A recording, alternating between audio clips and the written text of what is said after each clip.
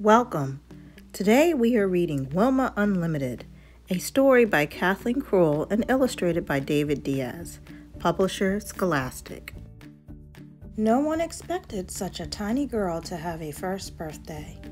In Clarksville, Tennessee, in 1940, life for a baby who weighed just over four pounds at birth was sure to be limited. But most babies didn't have 19 older brothers and sisters to watch over them. Most babies didn't have a mother who knew home remedies and a father who worked several jobs. Most babies weren't Wilma Rudolph. Wilma did celebrate her first birthday, and everyone noticed that as soon as this girl could walk, she ran or jumped instead. She worried people, though. She was always so small and sickly. If a brother or sister had a cold, she got double pneumonia. If one of them had measles, Wilma got measles too, plus mumps and chickenpox. Her mother always nursed her at home. Doctors were a luxury for the Rudolph family, and anyway, only one doctor in Clarksville would treat black people.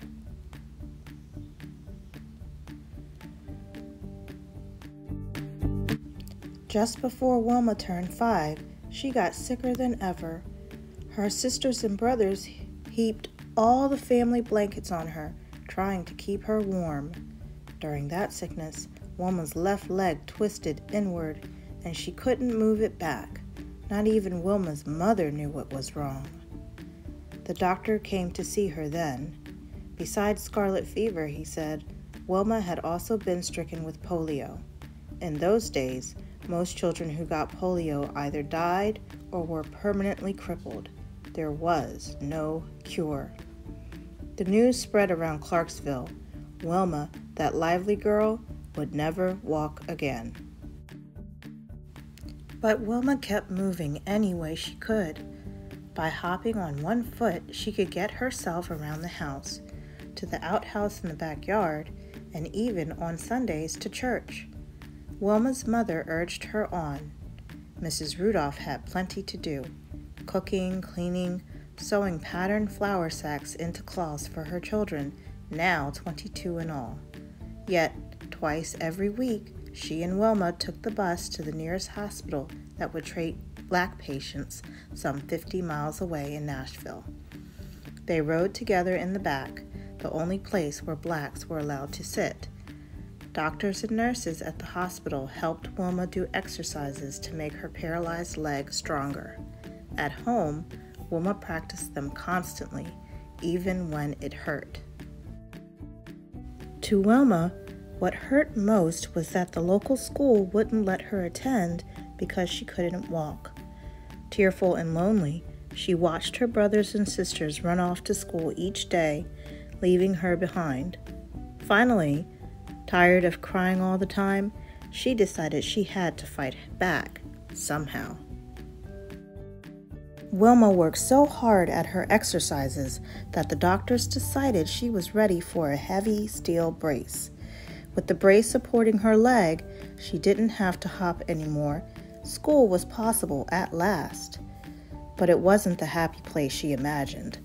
Her classmates made fun of her brace during playground games, she could only sit on the sidelines, twitchy with impatience. She studied the other kids for hours, memorizing moves, watching the ball zoom through the rim of the bushel basket they used as a hoop. Wilma fought the sadness by doing more leg exercises. Her family always cheered her on, and Wilma did everything she could to keep them from worrying about her. At times, her leg really did seem to be getting stronger. Other times, it just hurt. One Sunday on her way to church, Wilma felt especially good. She and her family had always found strength in their faith, and church was Wilma's favorite place in the world. Everyone she knew would be there, talking and laughing, praying and singing. It would be just the place to try the bravest thing she had ever done she hung back while people filled the old building. Standing alone, the sound of hymns coloring the air, she unbuckled her heavy brace and set it by the church's front door. Taking a deep breath, she moved one foot in front of the other, her knees trembling violently. She took her mind off her knees by concentrating on taking another breath and then another.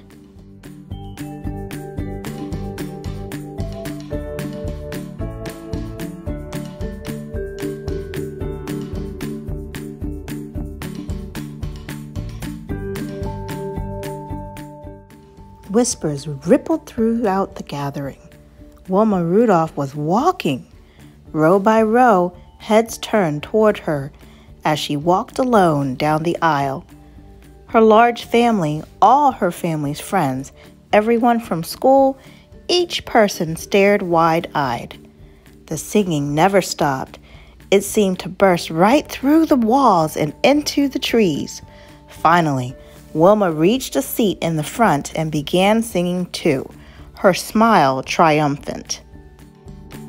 Wilma practiced walking as often as she could after that, and when she was 12 years old, she was able to take off the brace for good. She and her mother realized she could get along without it, so one memorable day, they wrapped the hated brace in a box and mailed it back to the hospital. As soon as Wilma sent that box away, she knew her life was beginning all over again. After years of sitting on the sidelines, Wilma couldn't wait to throw herself into basketball, the game she had most liked to watch. She was skinny, but no longer tiny. Her long, long legs would propel her across the court and through the air, and she knew all the rules and all the moves. In high school, she led her basketball team to one victory after another. Eventually, she took the team all the way to the Tennessee State Championships. There, to everyone's astonishment, her team lost. Wilma had become accustomed to winning. Now she slumped on the bench, all the liveliness knocked out of her.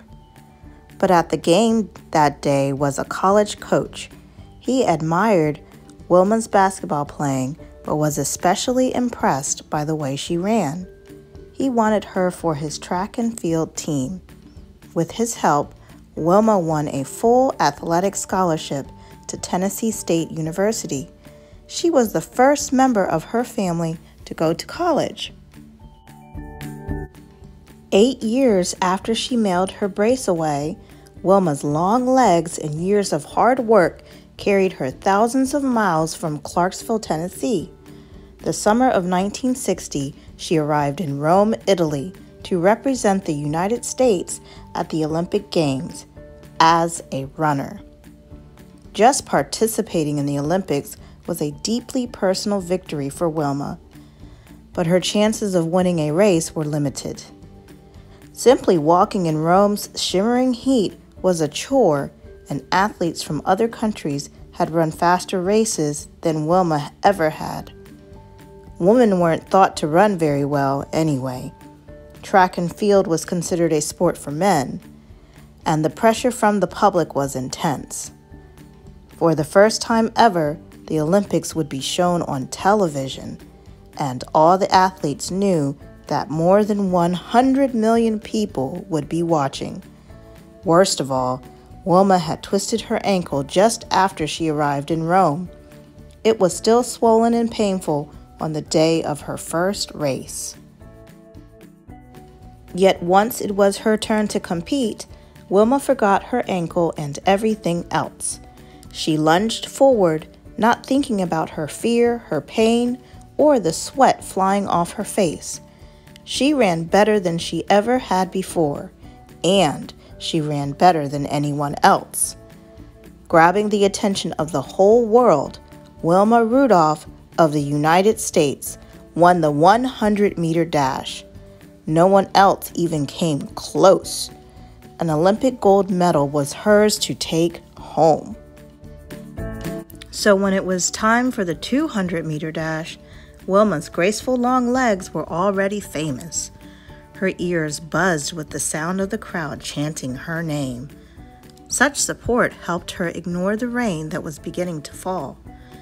At the crack of the starting gun, she surged into the humid air like a tornado. When she crossed the finish line, she had done it again. She finished far ahead of everyone else.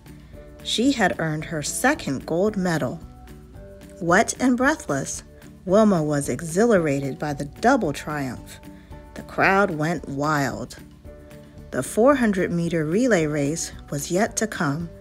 Wilma's team faced the toughest competition of all, and as the fourth and final runner on her team, it was Wilma who had to cross the finish line.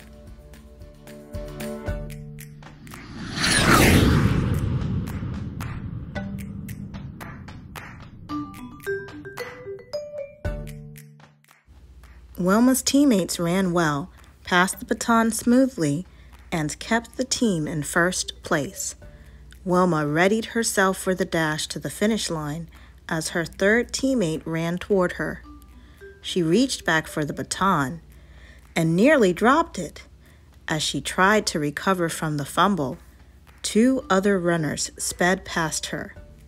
Wilma and her team were suddenly in third place. Ever since the day she had walked down the aisle at church, Wilma had known the power of concentration. Now, legs pumping, she put her mind to work. In a final electrifying burst of speed, she pulled ahead. By a fraction of a second, she was the first to blast across the finish line. The thundering cheers matched the thundering of her own heart. She had made history. She had won for an astounding third time. At her third ceremony that week, as the band played the Star Spangled Banner, Wilma stood tall and still, like a queen, the last of her three Olympic gold medals hanging around her neck. Wilma Rudolph, once known as the sickliest child in Clarksville, had become the fastest woman in the world.